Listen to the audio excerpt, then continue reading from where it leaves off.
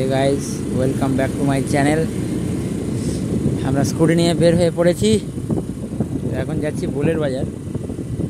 গাড়ি ধান লোড হয়ে দাঁড়িয়ে আছে। দেখতে পাচ্ছ স্কুটিটা নিয়ে চারিদিকে পুরো অন্ধকার।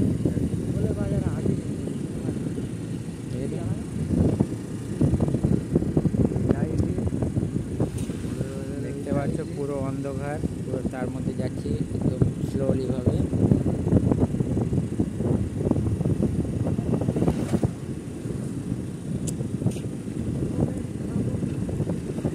তো আগেরবার আগের ভিডিওটা দেখালাম তোমাদের।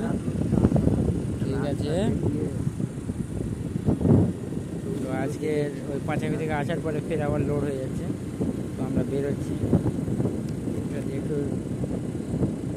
চ্যানেলটাকে সাবস্ক্রাইব করো শেয়ার করো। আজকে আবার দেখি বা মালিক কোথায় যেতে বলে। পাথর না বালি কোথায় যেতে বলে, দেখা যাক।